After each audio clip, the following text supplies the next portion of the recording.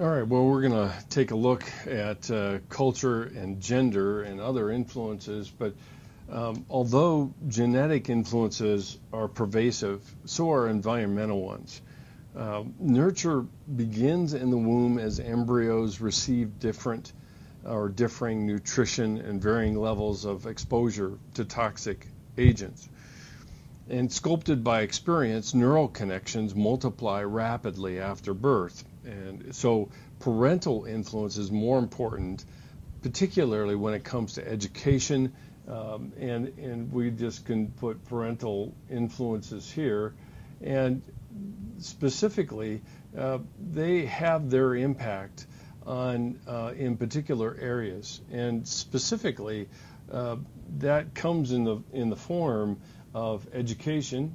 Uh, you know how active a parent is educationally, asking questions to engage a kid, uh, certainly discipline, uh, how much uh, structure versus how much um, freedom is provided, which we'll talk about in a little bit more detail. Um, responsibility. Uh, how do parents handle responsibility? What do they expect of their kids uh, in terms of growing up and taking on more and more responsibility. What we see a lot of times is um, the the issue of responsibility ends up being forced because of single parent homes. Um, another one is orderliness. Um, how orderly is is the child's world and how they uh, what they pick up on by the modeling of adult behavior. Um, the other one is charity and uh, how charitable uh, parents are, and that too has a direct impact on kids as they watch uh, generosity versus um, being a Scrooge-like person. And then the last one is uh, what we do with authority. Each of these are really part of the parental influences that are part of the environmental influences in general. Um, now, the, one of the big questions at hand here is uh, asking this question, we can identify, which is what this is doing, what I just did for you. We can identify sources and uh, things, but the question is, is how? And this is a, a major question in most everything we do, is how does it influence? Um, uh, how does it influence development? And the stimulation um, in the early years is really quite critical uh, for brain development because um, after brain maturation uh, provides us with this abundance of neural connections, experience preserves our activated connections and unused ones degenerate. In other words, they're pruned. And so uh, uh ultimately, um, external stimulation um, is is uh, significantly um, influential, even in the brain connections that survive, and it has led to a variety of of uh, programs and things like that that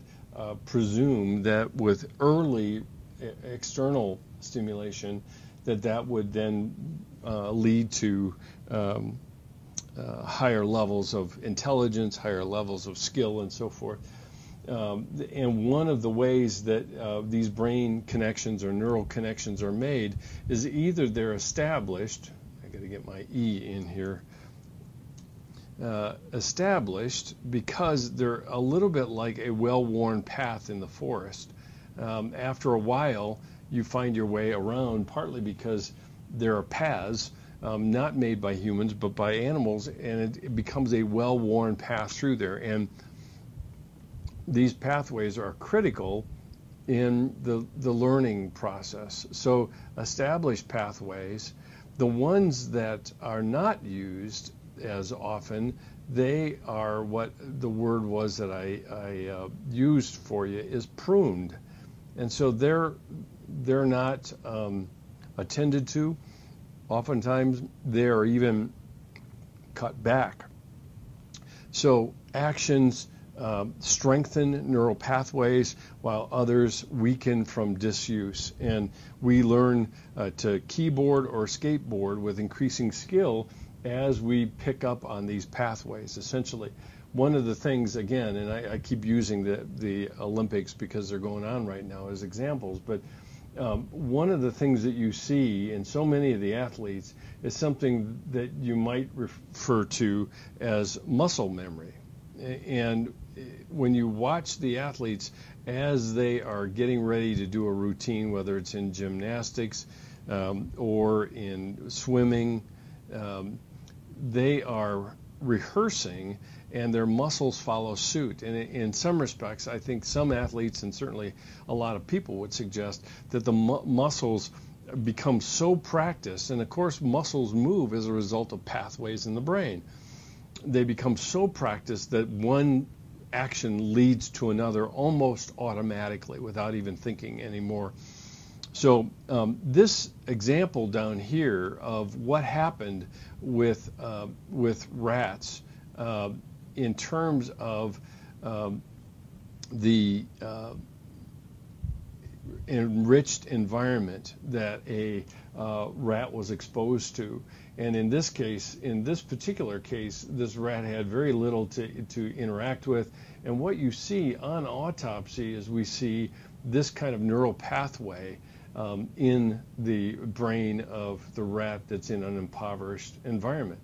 On the other hand, you see the cages of uh, these rats, and what you see is uh, uh, a very enriched environment, uh, ladders to climb on, mazes to get through, ramps to go up and down, and essentially what we saw was that more and more pathways were created here um, that that as a result of the enriched environment, and and you could even watch them, and in their actions, in their exploring behavior, you'd see significant differences um, between the two uh, uh, or sets of animals, if you will.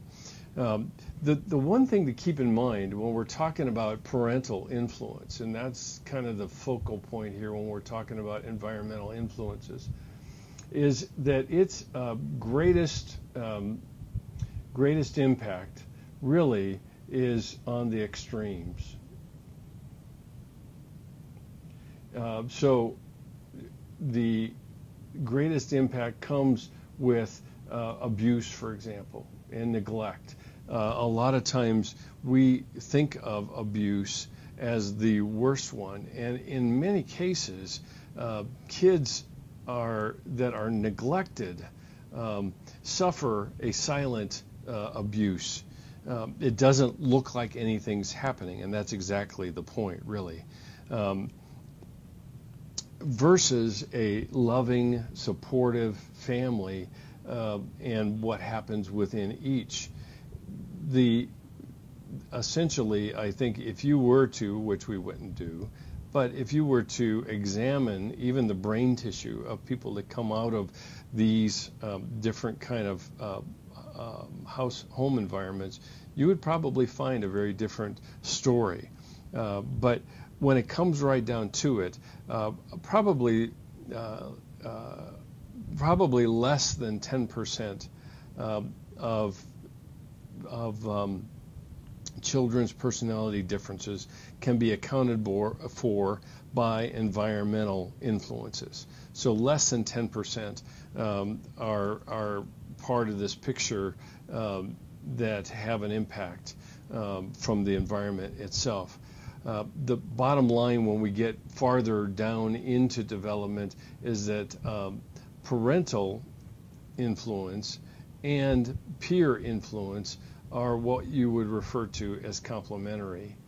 So parental and peer influence uh, complement one another. So if a child is in a peer group that agrees with family values, then they will strengthen. If they're in uh, a peer group that conflicts with family values, then a lot of times the peer group ends up winning out essentially.